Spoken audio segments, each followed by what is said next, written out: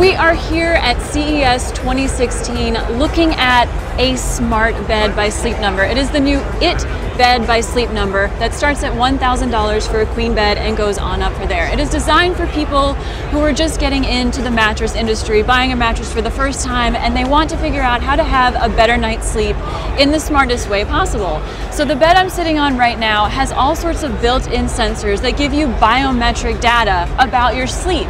So that includes heart rate, breath rate, how restless you've been, how long you stay in bed if you get up in the middle of the night a lot, and it gives you a report the next day so you can actually get sort of a score as to how well you did at your sleep and give you sort of suggestions on how you can maybe improve it going forward.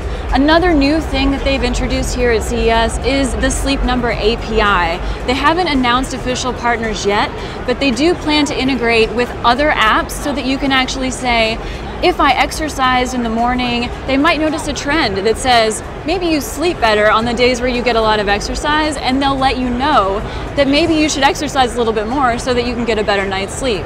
It also has the traditional sleep number technology, so you can lay back and actually just settle in and let the app decide what your perfect optimal sleep balance is. So the mattress just designs itself around your comfort level. And they're actually two different zones. So if you have a partner in the bed next to you, you can have your zone and they can have their own zone too.